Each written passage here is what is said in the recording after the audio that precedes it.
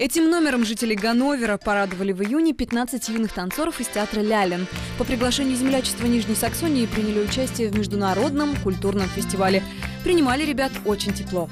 Я сидел в зрительном зале и смотрел, как выступают мои ребята.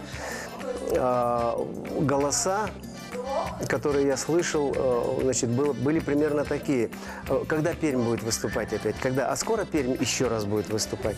Э, Говорю, через 2-3 номера. Ну, мы тогда еще посидим. И так было перед каждым номером. То есть ждали пермяков.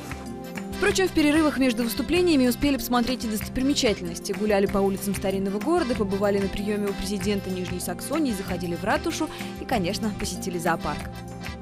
Быть в Германии, не посмотреть зоопарк, не развлечься в каких-то, а, на каких-то аттракционах, невиданных э, у нас в России, были. Ну, сам- самое яркое, конечно, для детей это был зоопарк.